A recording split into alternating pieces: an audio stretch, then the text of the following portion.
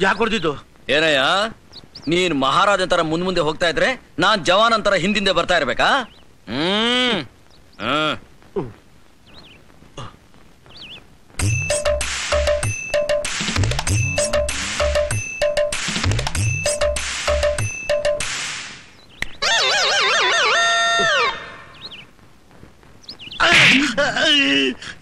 ಏನಯ್ಯ ನಾನ್ ಜವಾನ್ ತರ ಮುಂದೆ ಹೋಗ್ತಾ ಇದ್ರೆ ನೀನ್ ಮಹಾರಾಜ ತರ ಹಿಂದೆ ಬರ್ತಾ ಇದೀಯಾ?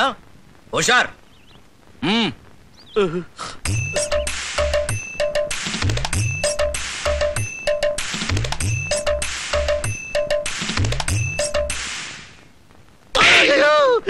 ಇದ್ಯಾಕೆ? ಬಲಗಡೆ ನನ್ನ ಜೊತೆ ನನ್ನ ಸರಿ ಸಮಾನವಾಗಿ ಅಯ್ಯಯ್ಯೋ ಜೋರಾಗ್ಬಿಟ್ಟು ಇದ್ಯಾಕೆ? ಎಡಗಡೆ ಬರಬಾರ್ದು ಅಂತ. ಅಯ್ಯಯ್ಯೋ. ಇದೇ ಕೈಯೋ ಕಬ್ಬಣನು ಇವತ್ ಬೆಳಗಾಗಿ ಎದ್ದು ಯಾರ ಮಕ್ಕ ನೋಡ್ದಪ್ಪ ಶಿವನೇ ಮುಂದ್ಗಡೆ ಹೋದ್ರು ತಪ್ಪು ಹಿಂದ್ಗಡೆ ಬಂದ್ರು ತಪ್ಪು ಬಲಕ್ ಬಂದ್ರು ತಪ್ಪು ಎಡಕ್ ಬಂದ್ರು ತಪ್ಪು. ಹ್ಮ್. ನಾನು ಧ್ವನಿ ಜಾಸ್ತಿ ಆಗ್ತಾ ಇದೆ. ಮತ್ತೆ Shut up!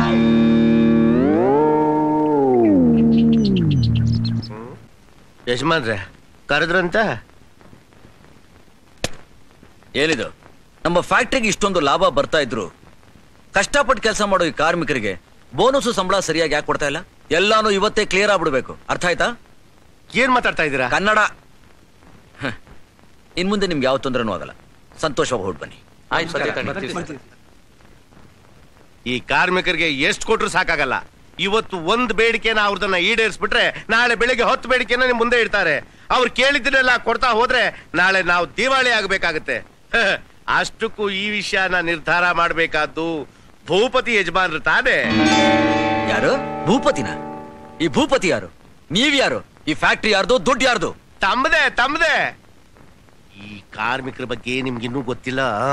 ಕಾರ್ಮಿಕರ ಬಗ್ಗೆ ನನಗೆ ಗೊತ್ತಿದೆಯೋ ಇಲ್ವೋ? ನೀವು ಮಾಡ್ತಿರೋ ಕಳ್ತನದ ಬಗ್ಗೆ ನನಗೆ ಚೆನ್ನಾಗಿ ಗೊತ್ತಿದೆ. ಯಜಮಾನ್ರೆ. ನೀವು ಬರ್ತಿರೋ ಲೆಕ್ಕದ ಪುಸ್ತಕಗಳನ್ನೆಲ್ಲ ನೋಡಿದೆ. ಎಲ್ಲ ಸುಳ್ಳು ಲೆಕ್ಕ. ಇದರಲ್ಲಿ ಪೂರ್ತಿ ತಪ್ಪಿದೆ. ಮೋಸದಿಂದ ಬರ್ತಿರೋದು ಸ್ಪಷ್ಟವಾಗಿದೆ. ಆದಾಯ ವೆಚ್ಚ ಒಂದಕ್ಕೊಂದು ಸಂಬಂಧನೇ ಇಲ್ಲ. ಇಂಥ ಕಳ್ಳ ಲೆಕ್ಕ ಬರ್ತಿರೋ ನಿಮ್ಮನ್ನ ಕೆಲಸದಿಂದ ಡಿಸ್ಮಿಸ್ ಮಾಡ್ತಾ ಇದ್ದೀನಿ. ಔಟ್ ಯಜಮಾನ್ರೆ ಹಿಡ್ದವ್ರ ಮೇಲೆ ಬಿಟ್ ನನ್ ಪ್ರಾಣ ಅಂತ. ನನ್ ಕುತ್ತಿಗೆಗೆ ಸಂಸ್ಕಾರ ತರ್ತಾ ಇದಿರಲ್ಲ ಇಷ್ಟು ದಿವಸ ಆ ಭೂಪತಿ ಹೇಳ್ದಾಗ ಕೇಳ್ಕೊಂಡು ಬಿದ್ದಿದ್ದೆ. ಇನ್ಮೇಲಿದ್ದ ತಾವ್ ಹೇಳ್ದಾಗ ಕೇಳ್ಕೊಂಡು ತಮ್ಮ ಪಾದ ಸೇವೆ ಮಾಡ್ತಾ ನಾಯಿ ತರ ಬಿದ್ದಿರ್ತೀನಿ. ನಾಯಿಗ್ಯಾಕೆ ನಿಮ್ಮನ್ನು ಹೋಲಿಸ್ಕೋತೀರಾ? ಅದು ನಿಯತ್ತಿನ ಪ್ರಾಣಿ. ಅಯ್ಯೋ ಹಾಗನ್ಬೇಡಿ ದೇವ್ರು. ಇಪ್ಪತ್ತು ವರ್ಷದಿಂದ ಈ ಫ್ಯಾಕ್ಟ್ರಿಗೆ ನಿಮ್ ಮನೆಗೆ ಎಷ್ಟು ಸೇವೆ ಸಲ್ಲಿಸ್ತಾ ಇದ್ದೀನಿ. ಆ ಅದೇ ಗೊತ್ತು. ಸೇವೆ ಇದು ನೀವು ಮಾಡಿರೋ ಒಂದೊಂದಕ್ಕೂ ಲೆಕ್ಕ ಚುಕ್ತ ಮಾಡದೆ ಬಿಡೋದಿಲ್ಲ ಹುಷಾರ್. ಕರೆಕ್ಟ್ ಆಗಿ ಹೇಳಿದ್ರಿ ಯಜಮಾನ್ರೆ. ಇಷ್ಟ ದಿವಸ ಇವ್ರು ಮಾಡ್ತಿದ್ ಕೆಲ್ಸನ ಇನ್ಮೇಲಿಂದ ನಾನೇ ಮಾಡ್ತೀನಿ. ಅಂದ್ರೆ ನೀವು ಕಳ್ತನ ಮಾಡ್ತೀರಾ? ಇ- ಇಲ್ಲ ಗುರುಗಳೇ ಇವ್ರು ಮಾಡ್ತಿದ್ ಬೈಲಿ ಬಯಲಿಗೆಳೆಯೋದಕ್ ತಾನೆ ನೀವು ನನ್ನ ಕರೆಸಿರೋದು ಆ? ಹಲೋ ನಿಮ್ಮನ್ನೇ. ನೀವು ಆಚೆಗೋಗ್ಬೋದು ನನ್ನನ್ನ ಆಚೆ ಹೋಗು ಅನ್ನಕ್ ನೀನ್ ಯಾವ ದಾಸನಯ್ಯ? ಅಷ್ಟಕ್ಕೂ ನಿನ್ನ ಯಾರು ಒಳಗಡೆ ಬಿಟ್ಟಿದ್ದು? ನೀನೇನ್ ನನ್ ಕೆಲಸ ಕಿತ್ಕೊಳಕ್ ಬಂದಿದ್ಯಾ? ಏಯ್ ಮರ್ಯಾದಿಂದ ಹೇಳ್ತಾ ಇದೀನಿ ನೀನ್ ಆಚೆ ಹೋಗು. ಹೇ ಹೇಳಿ ಯಜಮಾನ್ರೆ. ನಾನ್ ಆಚೆಗೋಗ್ಬೇಕಾ ಇಲ್ಲ ಈ ದಡಿ ಆಚೆಗೋಗ್ಬೇಕಾ ಹೇಳಿ ಸರ್. ಮಿಸ್ಟರ್ ಲೋಕನಾಥ್ ಆ?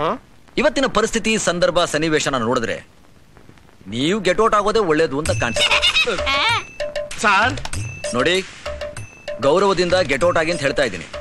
ಇನ್ ಒಂದ್ ಮಾತಾಡಿದ್ರು ಮುಂದಕ್ಕೆ ನೀವ್ ಹೇಳ್ಬೇಡಿ. ನಿಮ್ ಗೌರವಕ್ಕೆ ಧಕ್ಕೆ ಬರುತ್ತೆ. ಮುಂದಿನ ಡೈಲಾಗ್ನ ನಾನೇ ಹೇಳ್ಬಿಡ್ತೀನಿ. ಹೋಗಿ ಸ್ವಾಮಿ. ಹೋಗಿ ಸರ್. ಹೋಗಿ ಬುದ್ಧಿ. ಹೋಗ್ರಿ. ಅರೆ ಹೋಗಲ್ಲ ನೀನ್ ಎದ್ದೇಳಿ ತಂದು.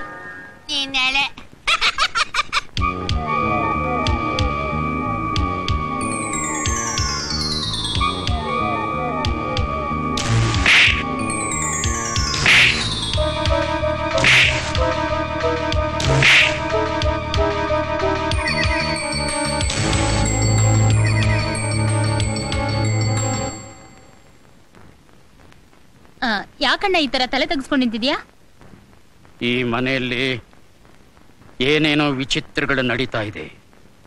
ಮೊದಲು ವಿಜಯ ನನ್ನ ನೆರಳ ಕಂಡ್ರೆ ನಡುಗ್ತಾ ಇದ್ದ.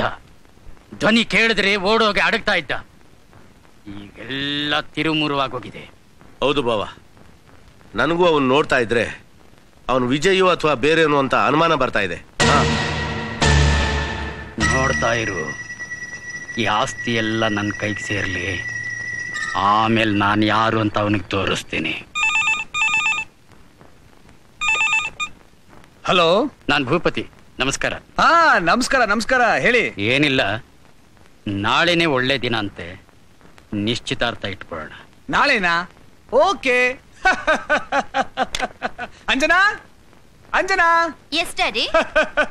Vijay ಮನೆಯಿಂದ ಫೋನ್ ಬಂದಿತ್ತು. ನಾಳೆ ನಿಶ್ಚಿತಾರ್ಥ ಇಟ್ಕೊಂಡಿದಾರಂತೆ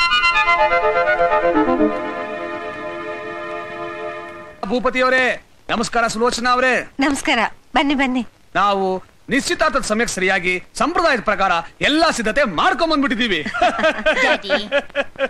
ನಮಸ್ಕಾರ. ನಮಸ್ತೆ. ನಮಸ್ಕಾರ. ನಮ್ಮನೆ ಮಹಾಲಕ್ಷ್ಮಿಗೆ ಎಂಥ ಕಳೆ ಬಂದ್ಬಿಟ್ಟಿದೆ? ಸಿದ್ಧದ ಗೊಂಬೆ ಹಾಗಿದ್ಯಾ? ನಿನ್ನಂಥವಳ ಹೆಂಡತಿಯಾಗಿ ಪಡೆಯೋಕೆ ನಮ್ ವಿಜಯ್ ತುಂಬಾ ಪುಣ್ಯ ಮಾಡಿದಾನೆ. ಬಾ ಬನ್ನಿ.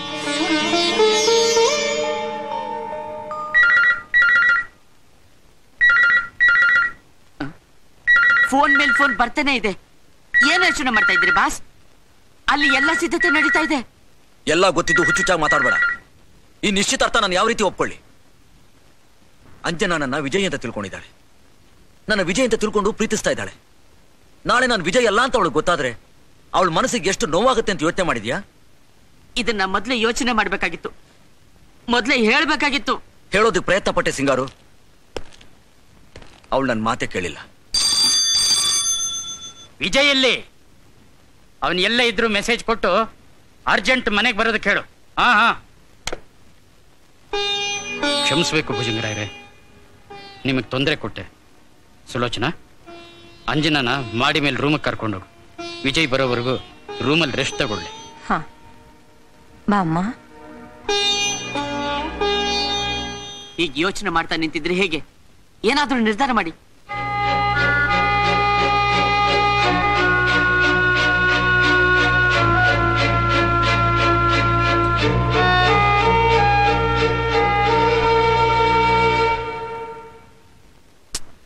ರಾತ್ರಿ ಹನ್ನೊಂದುವರೆ ಆಯ್ತು.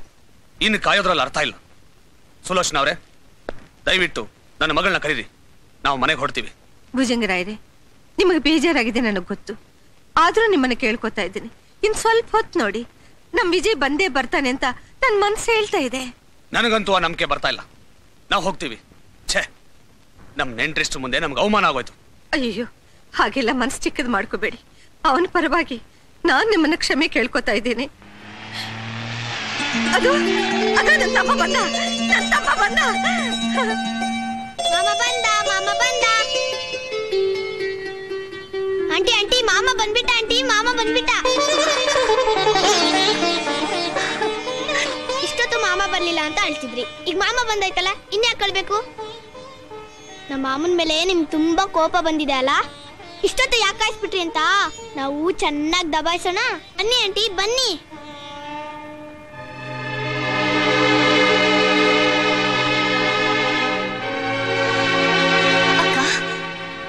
ಏನಾಯ್ತಕ್ಕ? ಯಾಕೆ ಹೇಗಿದ್ದೀರಾ? ಯಾಕೆ ಅಳ್ತಾ ಇದ್ದೀರಾ ಹೇಳಿ ಅಕ್ಕ ಹೇಳಿ. ಹೇಳಮ್ಮ ಏನಾಯ್ತದ ಹೇಳಮ್ಮ? ಏನಾಯ್ತಕ್ಕ? ವಿಜಯ್ ವಿಜಯ್ ಹುಷಾರಾಗಿದ್ದಾರೆ ತಾನೆ. ಏನಾಯ್ತಕ್ಕ? ಹೇಳಮ್ಮ ಮಾಮಂಗೇನು ಆಗಿಲ್ಲ ತಾನೆ. ಹೇಳಿ ಅಕ್ಕ ಹೇಳಿ. ಏನಾಯ್ತು?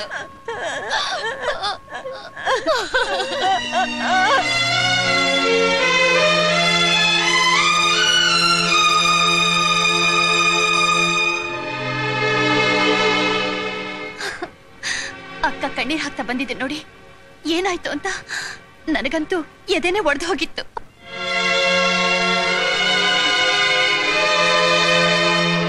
ಏನಾಯ್ತು? ಯಾಕೆಲ್ಲ ಈ ರೀತಿ ಇದ್ದೀರಾ? ಏನಾಯ್ತು ಅಂತ ನನ್ನೇನಮ್ಮ ಕೇಳ್ತೀಯ? ಇಲ್ಲಿ ನಿಂತಿದ್ದಾನಲ್ಲ? ವಿಶ್ವಾಸಘಾತಕ? ಇವನನ್ನು ಕೇಳು. ಎಲ್ಲ ಹೇಳ್ತಾನೆ. ಏನಾಯ್ತು ವಿಜಯ್? ಯಾಕೆ ಮಾತಾಡ್ದೆ ಒಂಥರ ಇದ್ದೀರಾ? ಏನಾಯ್ತು? ಹೇಳಿ.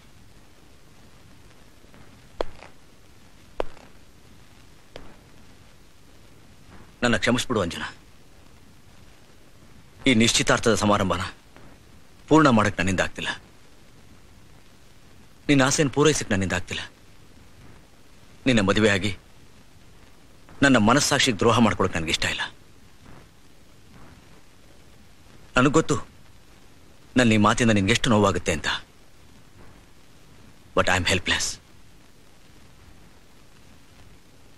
ದಯವಿಟ್ಟು ನನ್ನ ಕ್ಷಮಿಸ್ಬಿಡು.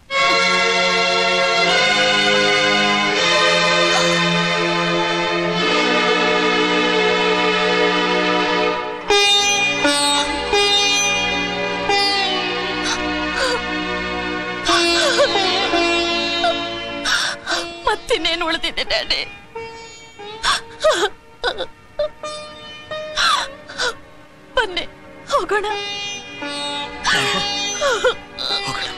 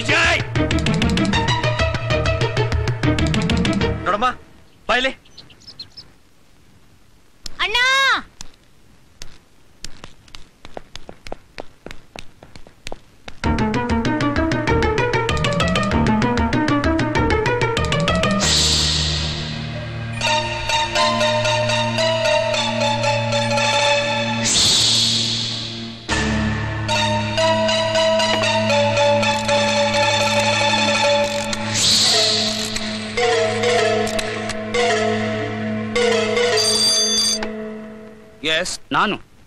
ಭೂಪತಿ ಮಾತಾಡ್ತಿರೋದು. ನಮಸ್ಕಾರ ಭೂಪತಿ ರಾಯರೇ ಹೇಳಿ.